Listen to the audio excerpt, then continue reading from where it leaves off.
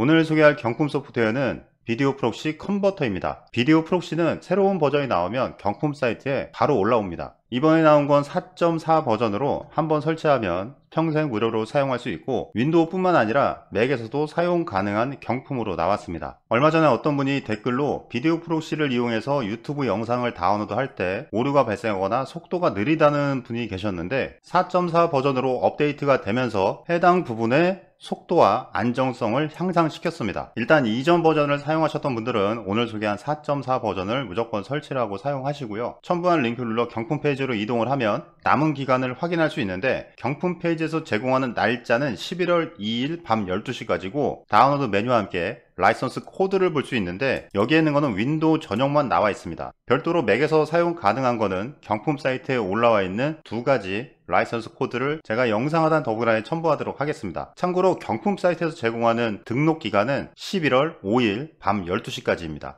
VideoProc를 처음 사용하시는 분들은 다운로드 메뉴를 누른 다음에 설치를 진행하시고요. 참고로 이전 버전 VideoProc를 사용하시는 분들은 메뉴 목록에서 업데이트 확인을 누른 다음에 여기에서 지금 업데이트 하기를 누르면 이렇게 4.4 체험판 웹페이지가 열립니다. 경품 페이지에 있는 설치 파일을 다운로드 하거나 아니면 여기에서 최신 버전을 다운로드하고 설치를 진행합니다. 설치하는 방법은 한국어를 지원하기 때문에 전혀 어려운 부분은 없고요. 바로 메인에 있는 설치를 눌러 진행합니다. 설치가 끝난 다음에 프로그램을 실행하고 업데이트 확인을 누르면 4.4 최신 버전인 걸 볼 수 있습니다. 메뉴 목록에서 소개를 이동하면 자동으로 라이선스가 등록된 걸 볼 수 있습니다. 이게 버그인지 원래 이렇게 되는지는 모르겠는데 일단 기존의 VideoProc를 사용하셨던 분들은 이 부분 체크하시면 될 것 같고 VideoProc를 처음 사용하거나 아니면 라이선스 코드가 자동으로 등록이 되지 않는다면 메뉴 목록에서 회원 가입을 누르면 이렇게 팝업이 열립니다.